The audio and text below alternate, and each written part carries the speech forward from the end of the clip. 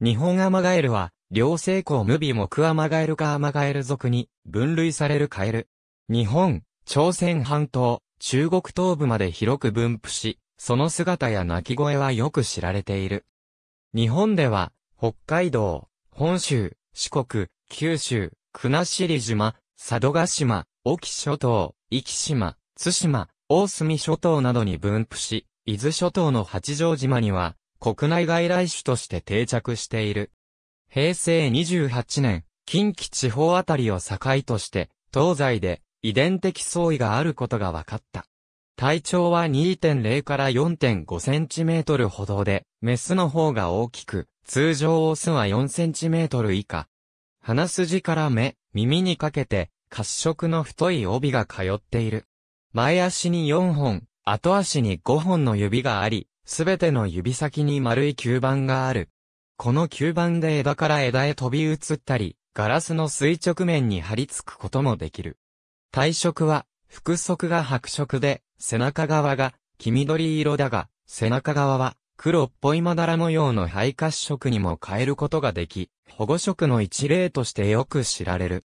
この色の変化は、周りの環境、温度、湿度、明るさなどに応じて、ホルモンを分泌し、皮膚の色素細胞を拡張、伸縮させることによる。また、たまに色素細胞の変異が起こり、体色が青や黄色の個体が見られることもある。たまに話題となる、空色の河津は、本種の黄色色素が先天的に欠乏したものである。なお、夜間では土の上でも緑色を呈する。皮膚はツルツルした粘膜に覆われるが、この粘膜からは体を細菌などから守るため毒が分泌されている。手で触る分には問題ないが、傷ついた手で触ったり、触った手で目や口を吸ったりすると、激しい痛みを感じ、目に入った場合は失明することもある。本種を触れた手では、目や傷を触らず、手洗いすることが望ましい。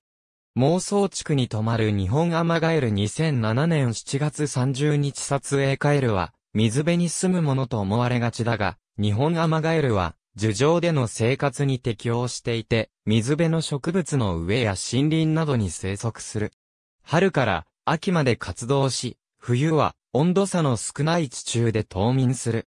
20世紀末以降両生類全体が減少傾向にあるが、本種は立体活動が巧みなこと、ある程度乾燥に強いことから、都市部等でも見かけられることもあり、依然普通種であり続けている。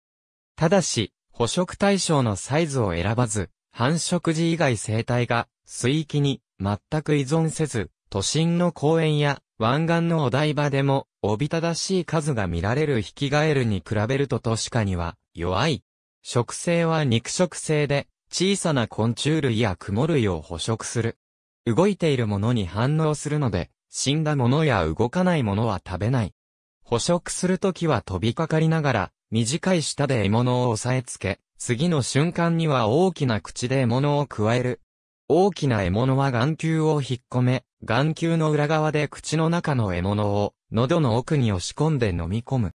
夜には人家の窓や自動販売機の照明前にも現れ、明かりに集まる昆虫を捕食する姿が見られる。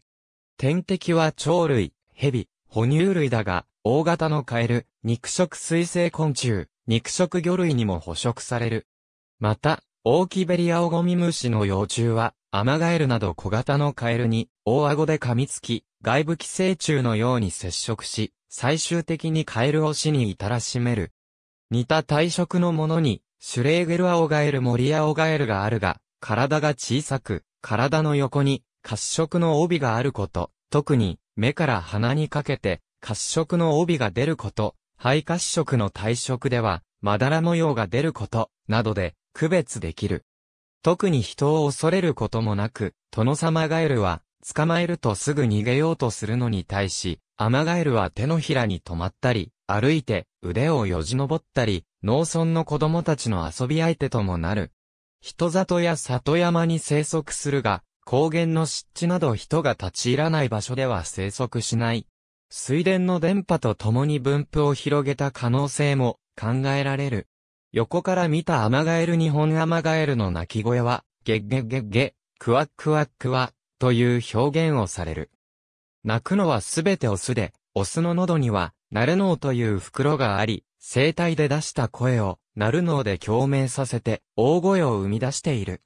カエルの繁殖期は主に春で、この時期の夜の水田には、たくさんのカエルの声がこだまし、場所によっては、集団で大合唱になることもある。この繁殖期の鳴き声は、オスがメスに自分の存在を知らせるためのもので、広告音と呼ばれる。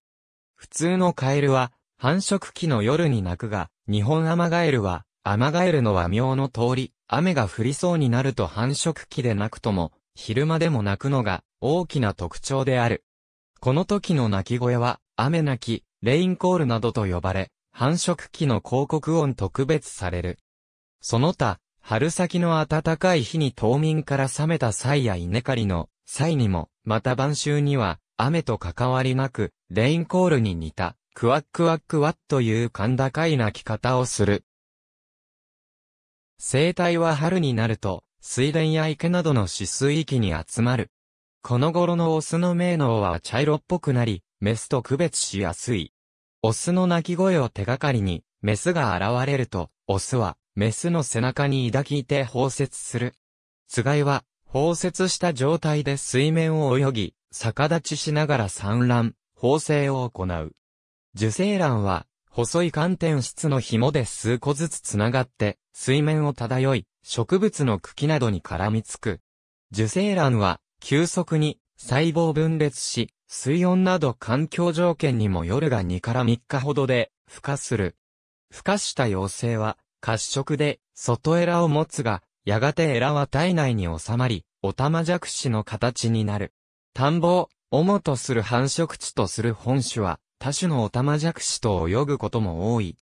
日本山ガエルのオタマジャクシは、全身が褐色で、薄いまだら模様があるので、全身が黒いヒキガエル類などと区別できる。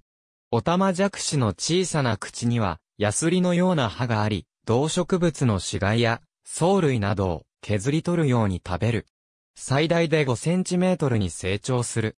1ヶ月ほどかけて、ゆっくりと、オタマジャクシからカエルの姿へ変態する。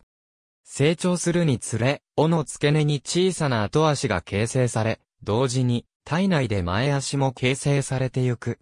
後足が大きくなると、エラ穴から前足が出て、尾が徐々に短くなってゆく。褐色だった体色が薄くなり、背中が黄緑色へ変わる。コガエルは、尾が短くなった頃に上陸し、思い思いの方向へと散ってゆく。寿命は数年ほどと見られる。なお、アマガエル類は吸盤を持つため壁に囲まれた水場にも産卵できる。日本の九州以北で、開けた場所に置かれたタンクや瓶などで、卵やオタマジャクシを観察できた場合、それらはまず、日本アマガエルのものである。水田地域では、一生を水田付近で過ごす個体も多い。稲の出水時期になると水田には水を入れなくなるが、ここで水田を去り林に入る個体もあれば、500メートル以上、離れた水場まで移動する個体もある。また一方でその後も、水田付近で過ごし、稲刈りの際に泣きわめいて農機から逃げ惑う姿も見られる。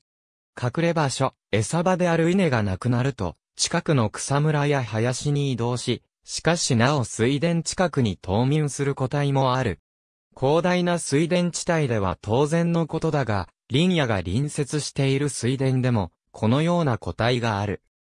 春先の気温が暖かい年、地域では、冬眠から自発的に冷めて泣き出すが、逆に雪解けが遅い年、地域では、田起こしの農機の振動で冬眠から冷めるものの、気温が十分に上がるまでは、活発に鳴かない。日本山ガエルは発達した吸盤により垂直な面をも移動できることから、主な生息環境となっている水田と周辺の水辺の補助整備及び水路整備に多用される U 字工の影響や整備の結果生じる陶器の感電化の影響は大きく受けないとされている。